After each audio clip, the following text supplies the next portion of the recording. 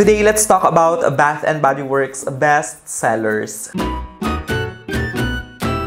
This is actually not my first time trying these perfumes or mist kasi na-film ko na to nung nakaraan. First impression video yung ginawa ko but unfortunately nasira yung audio. Paubos na pala yung battery ng mic na gamit ko. Katina ilong ko. But anyway, yun nga, pag-check ko ng mga clips na ginawa ko for this one, sobrang pangit ng audio as in sirang-sira siya. So ayun, we have no choice but to refilm and unfortunately, hindi ko naman i-share yung parang excitement ko when I first sniffed these perfumes or mist. But anyway, going back again, these are some of the best seller nga ng Bath and Body Works. Meron tayong Gingham, Dark Kiss we also have here, we have Warm Vanilla Sugar. These are basically yung mga mist na madalas nating makita sa Shopee. But I also have these by the way na hindi ko pa natetest, kaya at the end of the video, subukan din natin. And same sa previous Bath and Body Works video na ginawa ko guys, this time missed muna yung mga pinurchase ko para mas matipid. Kung bibilin ko kasi yung mga full size nito guys, probably aabot ako ng almost 6,000 pesos and I don't want to spend that much money and hindi ko pa naman sure kung gusto kong lahat kaya I feel like ito yung pinaka-ideal. First up, we have the Bath and Body Works Cucumber Melon Mist. And for this one, yung mga notes that we have are honeydew, summer cantaloupe, crisp cucumbers, sparkling grapefruit, and sheer wood.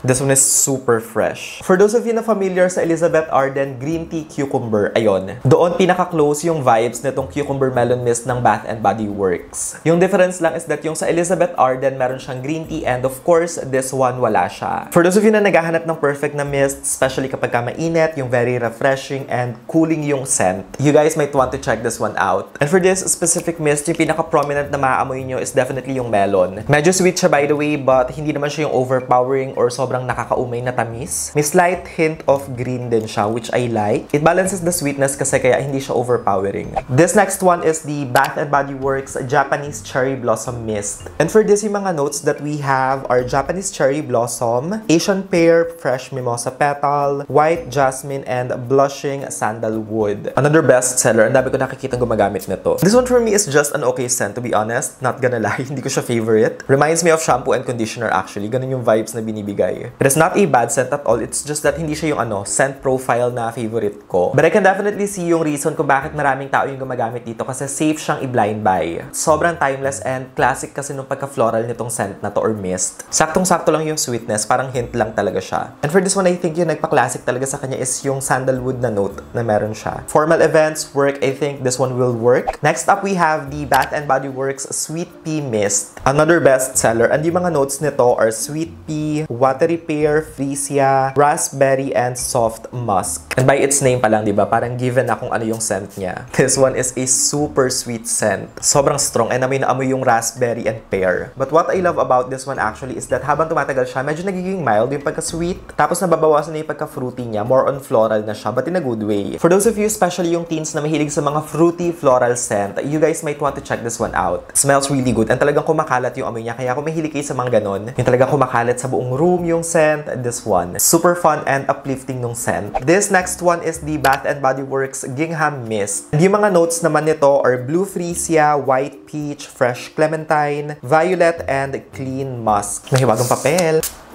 This one actually reminds me of a cologne. Ganun yung vibes niya. For those of you na naghahanap ng mist na very clean, fresh, and also may hint of sweetness, this one is absolutely spot on. If you guys are familiar dito sa Givenchy na tartan, medyo ganun yung vibes na binibigay nitong gingham. Pero hindi sila ano guys ha, dupe. They are definitely not the same. Yung pagka-cologne vibes lang yung similarities na meron sila. Yung very refreshing and easy to use. Again, super clean scent, a little bit sweet, fresh. You can definitely smell yung citrus which is perfect. Especially kapag mainit this one, okay na okay din siya. Mist number 5 is Bath and Body Works Dark Kiss. And this one, yung mga notes niya are black raspberry, burgundy rose, bergamot incense, dark vanilla bean, and plum musk. And sa name pa lang ng perfume, alam niyo na siguro kung ano yung vibes na binibigay niya.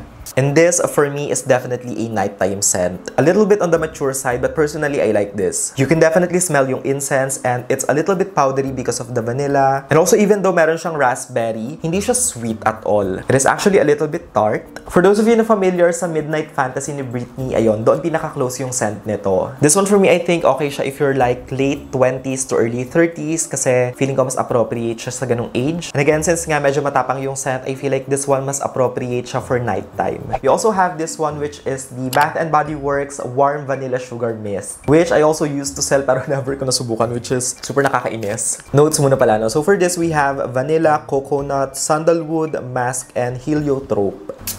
If you guys are into gourmand scents, you will definitely enjoy this. It's vanilla, sugar, so diba, what more can you ask for? Slightly reminds me of Vanilla Bean Noel, but I feel like mas gusto ko to be honest. But I do like this one as well, so para I'm torn. But since I have na Vanilla Bean Noel ng full bottle, I feel like I don't need to buy full bottle of this one na. And I also love na meron din siyang musk, hindi lang siya yung parang typical na vanilla and sugar perfume, which makes it slightly clean as well. Actually, perfect din siya pang mix sa ibang perfume. This one I'm holding next is the Bath and Body Works Dahlia Mist. In this one, we have Dahlia Petals, Crisp Pear, Praline Musk, and Tonka Bean when it comes sa notes. And I absolutely love this one. Such an amazing scent. To be honest, at first, akala ko floral lang siya. But hindi. Floral gourmand siya. At least to my nose ha. When it comes sa similarities or vibes, this one actually reminds me of Jimmy Choo Illicit and Paris Hilton Gold Rush. Which is great, diba? I mean, who doesn't want to smell expensive anyway? Can stop sniffing, guys. Such an amazing mist. This one is definitely full bottle worthy and for sure, bibilin ko yung full bottle nito. For this one, I think yung best way to describe it is bright and feminine. Any time of the day actually. This one, sobrang spot on. Anong nice kasi even though sweet siya, hindi siya overpowering, hindi nakakahilo, and sobrang nice nung pagka-blend ng floral and ng sweetness. Of course, this one hindi pwedeng mawala. Bath and Body Works in the Star Mist. Notes of this one are tangerine, sandalwood, white wood, amber, and musk. And dito sa isang to guys, tama nga yung sinasabi nila. Very close yung amoy niya sa Baccarat Rouge 540 and also Cloud ni Ariana. Yeah, super close. Kaya if you love those kinds of scent profile, definitely this one you need to get your hands on. Most especially kapag ka-dry down guys, this one na-test ko na kasi siya, mas close doon sa dalawang yon. Both of those, by the way, I own, kaya can definitely ano, attest. And I think for me, masasabi ko lang na difference nila is that this one kapag ka-initial spray, maaamoy nyo yung tangerine. But again, dry down, almost identical sila. I believe Baccarat or Baccarat Rouge 540 is around 16 to 18,000. Ito namang Ariana Grande Cloud is around 3,300 to 3,500. And yung In the Stars, probably 550 to 600 lang.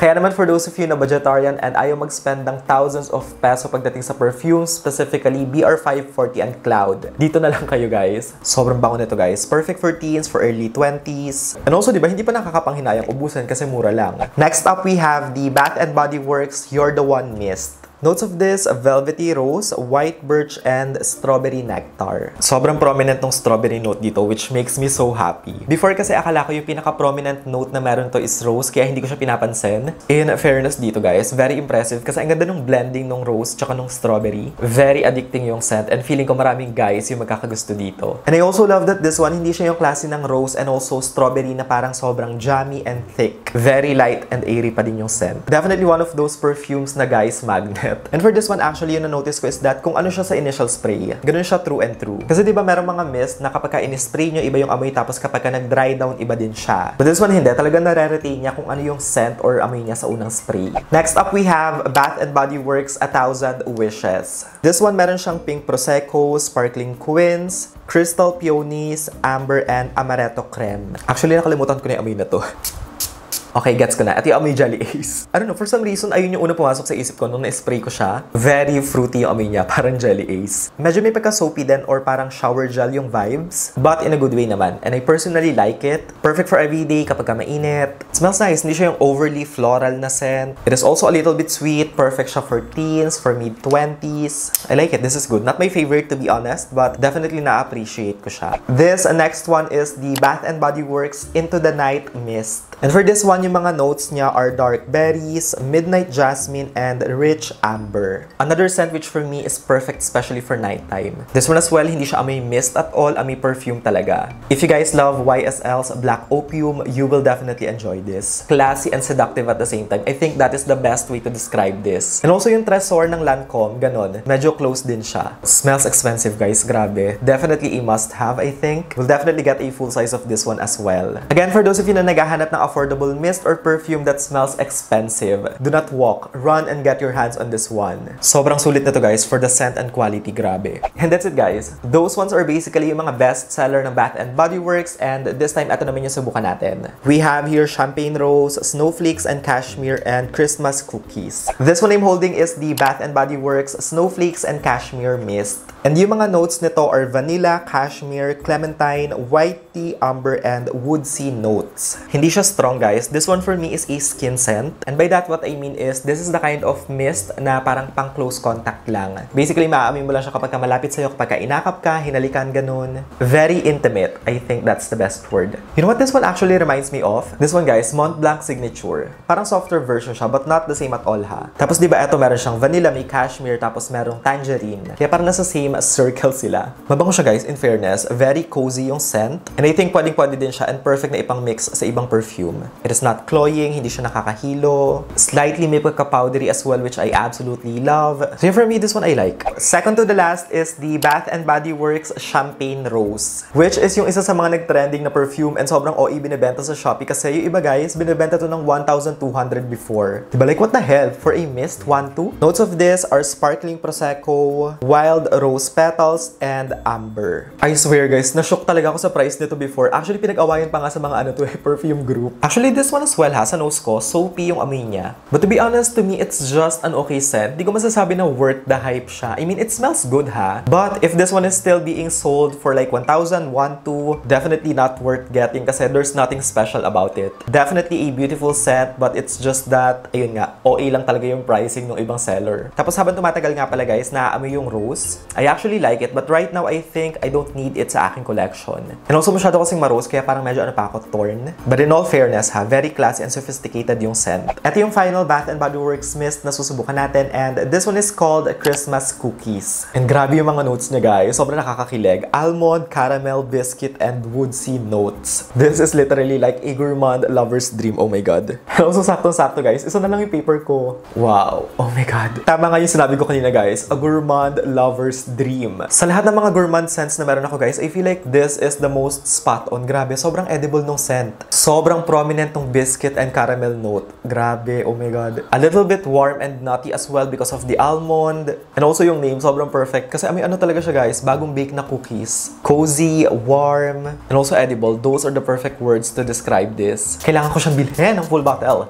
That's it, ito na yung winner. Definitely heaven in a bottle. Again, gourmand lover's dream. Anyway guys, that is it for today's video. For those of you na beginners sa Bath and Body Works or kaya naman gusto niyo mag-start sa collection, I feel like these are some of the mist na perfect na pagsimulan. Most of them kasi sobrang safe i-blind buy and also talagang perfect sa weather natin. Especially ngayon guys, malapit ang face-to-face classes if you're looking for a mist or perfume na perfect for everyday and hindi mabigat sa bulsa. These ones from Bath and Body Works, definitely you guys need to check out. Of course, what is a Kenny Manalad video without recommendations? Kaya naman, isi-share ko sa inyo yung 5 sa mga masasabi kong worth buying. Actually, lahat naman sila worth buying, pero ito lang talaga yung nag-stand out sa akin, so isi-share ko sa inyo. First one is Gingham. I also love Dahlia. Into the Night is also perfect kasi it smells expensive. In the Stars kasi amoy cloud and BR540. And lastly, of course, Christmas cookies, which I am going to check out in a few. By the way, yung mga links nga pala nitong decants, ilalagay ko na lang sa description box as well as yung full bottle. Para hindi na kayo mahirapan. anyway guys, that is it for today's video. Thank you guys so much for watching. I love you all so much. Stay safe. And I hope to see all of you again on my next one.